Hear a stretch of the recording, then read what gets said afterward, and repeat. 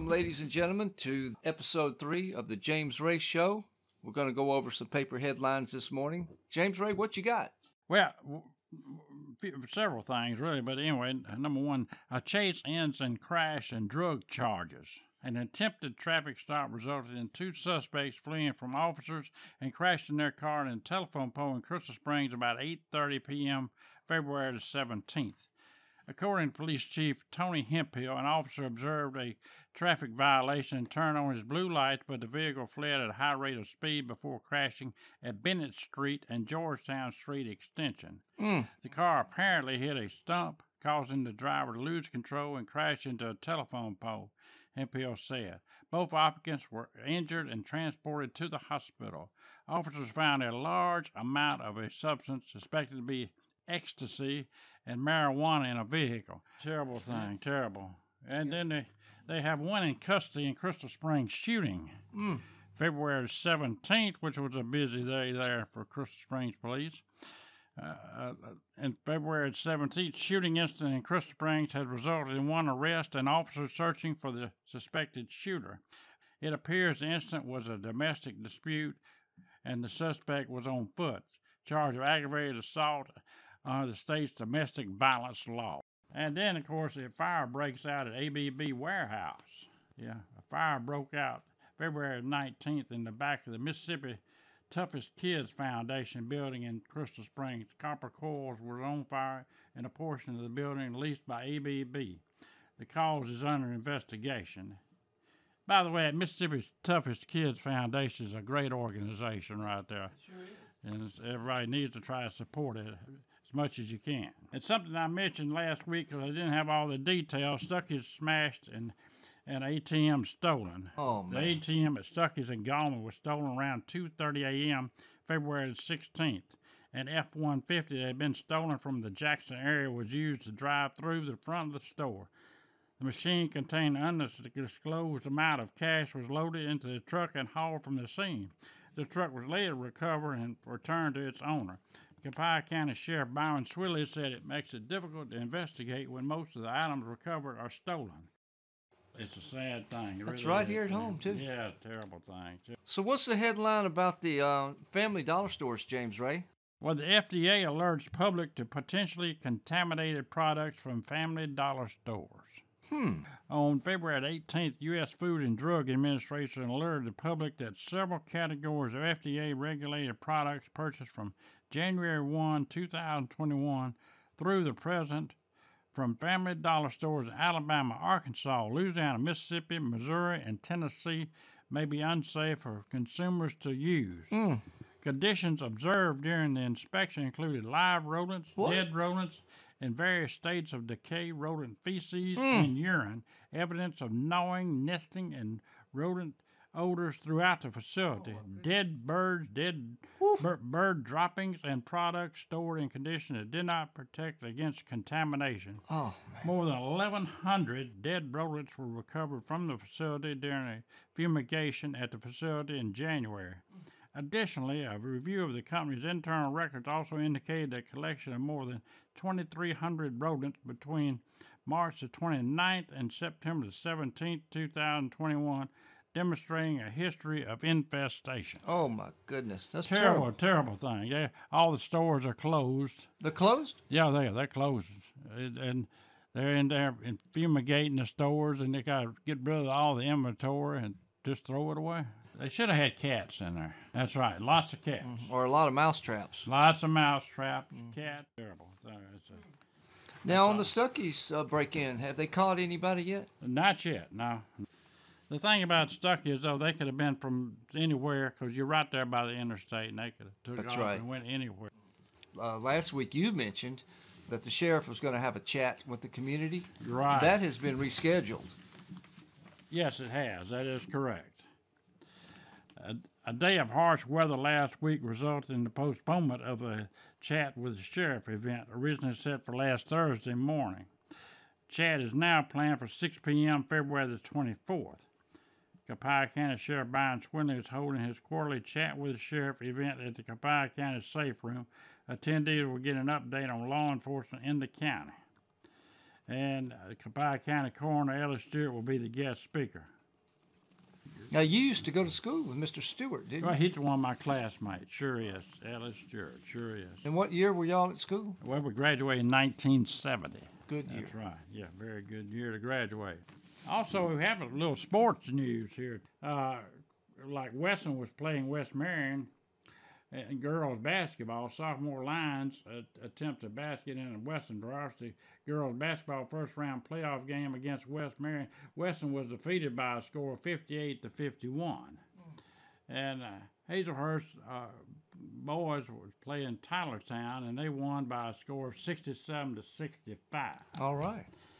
Wesson uh, played Warren Central in soft, softball, rather. First home game of the season against Warren Central. Runs were scored by Alexis Guest, Jacqueline Chloe, J.D. Swoop, and Emma Thaxton. Wesson won by a score of four to three.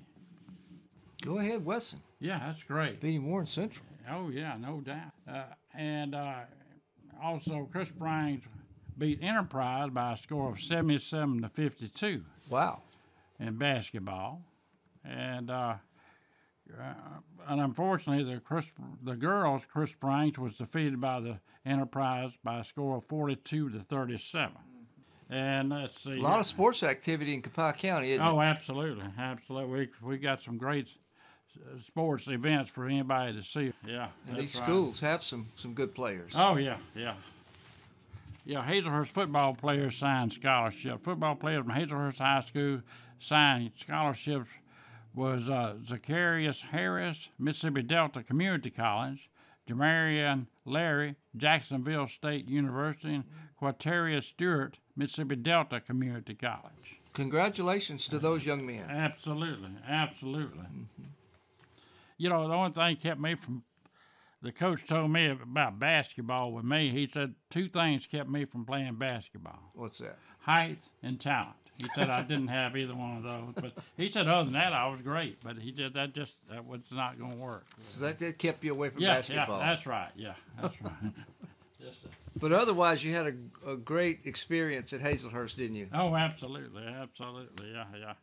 Can you go over what it was like on a Friday before a football game in 1967? Well, of course, I was, I played football, sure did, and uh, in '67, you know, before a good football game, we always had a pregame meal. Went to Mickey's, great, one of the best places in the country to eat. People from all over the country came to eat at Mickey's restaurant, very good. And hamburger steak just uh, bigger than this plate. Yeah. Of course, y- you might know this. You know, when I was a kid, you know, I didn't have any brothers and sisters.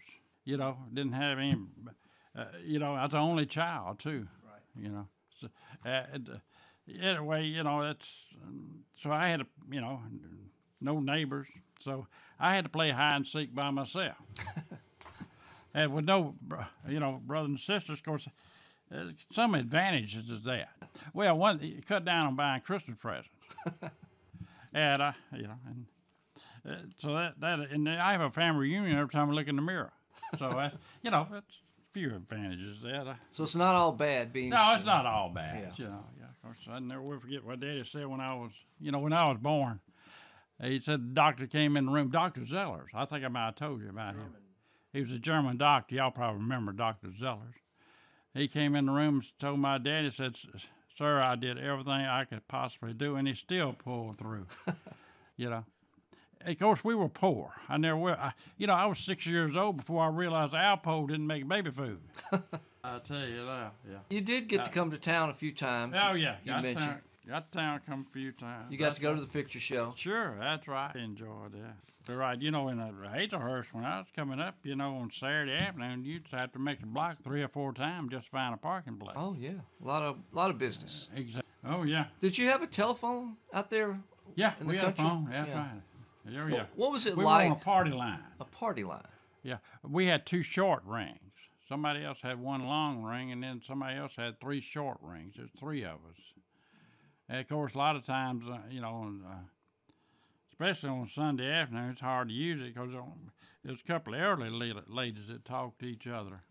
I think that's the only time they talk was on Sunday afternoon. You forget about that. Oh, well, with the prices the way they are nowadays, I just don't know. Can I have the line, please? I've got to call the doctor. My baby just swallowed a pin. Oh, yes, of course. All right, Jane, I'll call you later. Yeah, they, you pick up the phone and they'd be talking about their knees were popping or so I wonder what caused that, you know, stuff like that. And I'd say, ma'am, we need to, can we use the phone? She said, do your knees pop? I said, well, occasionally they do. And she said, I wonder what causes that. And I said, ma'am, have you ever tried WD-40 or something? I mean, but anyway, couldn't get them off the phone. They'd be on there for hours. Do you remember your telephone number? I do not. I do not. Seven It'd four be disconnected now, W3, so I please. call anyway. Seven Nobody would four answer. No, W no, three. But at least you had telephone and you had two or three channels, That- That's right. yeah. television. Oh yeah, yeah, that's right. and you had WMDC. You know, one good thing about a landline, I thought about. I don't know if anybody has lost their phone when they had a landline. Nobody lost their phone. Whereas these cell phones, you know, I had a terrible incident with mine last week. I heard about that. You want to tell the audience what that was about? Well, I mean, I was washing my pants. Does that tell you anything?